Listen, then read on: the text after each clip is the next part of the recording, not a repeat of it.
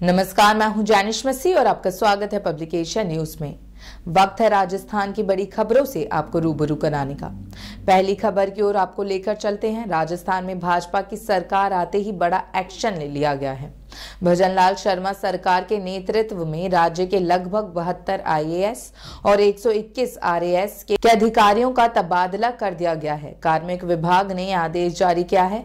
कार्मिक विभाग के आदेश के अनुसार लगभग 32 जिलों के कलेक्टर बदले गए हैं। अगली खबर की ओर आपको लेकर चलते हुए बता दें, राजस्थान में कोटा जंक्शन के पास जोधपुर, भोपाल पैसेंजर ट्रेन के दो डिब्बे पटरी से उतर गए।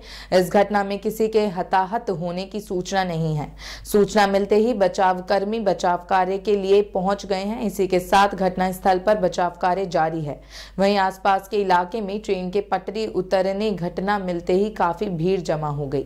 अगली खबर की ओर आपको लेकर चलते हैं। प्रधानमंत्री नरेंद्र मोदी और केंद्रीय गृह मंत्री अमित शाह के अट्ठावनवे कार्यक्रम में भाग लेने के लिए जयपुर दौरे पर है। पीएम और गृह मंत्री के आगमन को लेकर सुरक्षा बढ़ा दी गई है।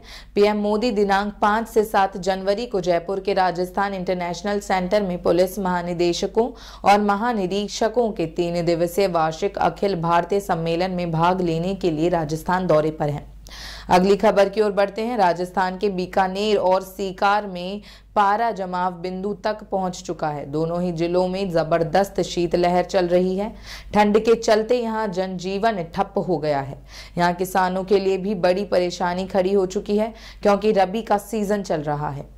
राजस्थान की ऐसी ही तमाम खबरों के लिए देखते रहें पब्लिकेशन न्यूज़। धन्यवाद।